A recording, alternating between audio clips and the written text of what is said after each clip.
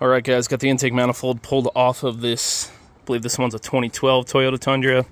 Very common failure on these if you're getting knock sensor codes um, and don't have a reason to believe your knock sensor is bad. Check the wiring harness. Goes to your four knock sensors underneath the intake manifold. This one is tripping sensor four. Sure enough, little rodent material and they chewed up on the wires on this harness. Very common. There's just a void under the intake manifold here. It's filled with some foam some nesting material that, that those critters tend to like, and it's a little little warm hideout for them. So if you're getting multiple knock sensor codes on your 5.7 Tundra, check this harness first. Sometimes they do chew the very end where you have to replace the sensor, but looks like this one will just be a new harness, and we'll be going back together.